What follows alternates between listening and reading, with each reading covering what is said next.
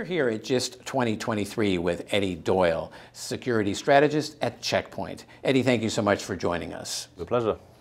Um, I'd like to start by asking, where have you seen federal agencies implement innovative data-driven strategies to improve citizen services?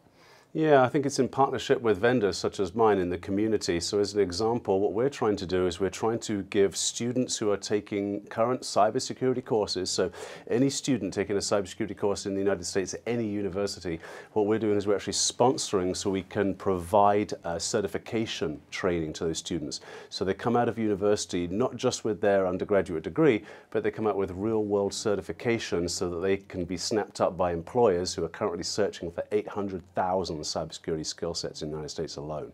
So we're giving them that, and then that gives them access and um, confidence on real world tools, not just uh, academically. Well, we all need uh, more of those kinds of talented folks that get into the yeah, system, right? We're helping.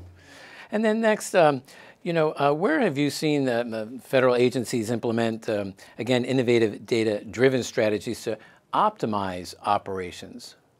Yeah, well, this is where we come into the machine learning and artificial intelligence. Um, I used to give a quip with artificial intelligence that it's not, because it's not intelligent yet. It's just ones and zeros, so it's machine learning.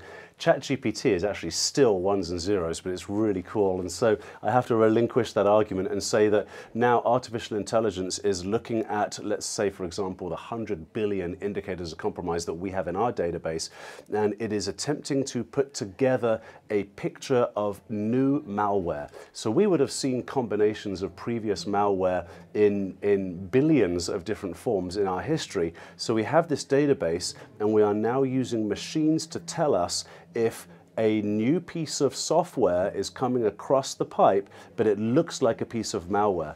And within less than a 1% degree of accuracy, we're getting it right. So machine learning is uh, going to help us out here with this massive volumes of data. Well, Eddie Doyle, thank you so much for sharing some of your thoughts with us here okay, at the GIST 2023. Yeah, good luck.